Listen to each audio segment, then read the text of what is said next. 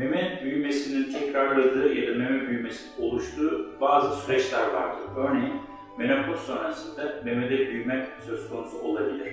Aynı zamanda kişinin aşırı derecede kilo alması memenin büyümesine neden olabilir. Ancak özellikle hastalarıma vurgulayarak söylediğim bir konu var.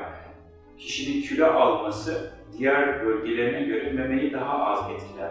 Aynı durum kişinin egzersiz ya da diyetle kilo vermesi durumunda da geçerlidir. Özellikle menopoz öncesi dönemde bezden ağırlıklı dokudan zengin bir e, büyük memesi olan kadında kilo alıp vermeden ziyade hormonal bir takım etkileşimlerin, örneğin gebelik, örneğin bir takım ilaç kullanımları ya da bazı rahatsızlıkların meme büyümede etkin olacağını söyleyebiliriz. Bu şekilde bir planlama yaparken kişinin tabii ki gelecekteki yaşayacağı veya karşılaşacağı bu tarz durumları da dikkate almaya ve planlamayı da ona göre yapmaya çalışıyoruz.